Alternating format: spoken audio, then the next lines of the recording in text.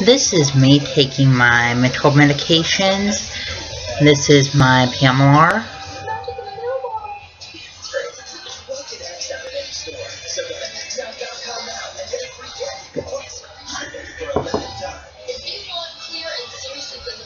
This is my Topamax.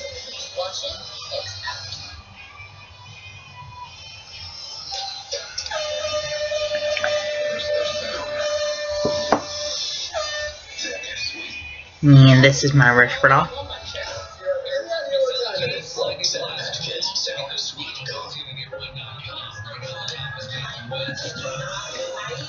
Please subscribe, rate, and comment.